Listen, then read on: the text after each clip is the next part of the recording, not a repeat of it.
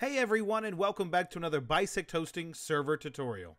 In today's tutorial, we're going to go over how to kick or ban players on a Stardew Valley server. In order to follow this tutorial, you will need to have admin permissions. If you'd like to learn how to get admin permissions, I will have a video link in the description going over how to do so. While in-game, you can type the following to kick a player. Exclamation, kick, space, and then their farmer name.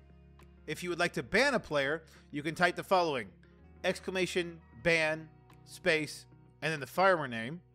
And finally, if you would like to unban all players, you can type exclamation, unban all, which will remove the bans for all the players. If you have any questions, check out our knowledge base, bisecthosting.com slash kb, or you can submit a support ticket on our website.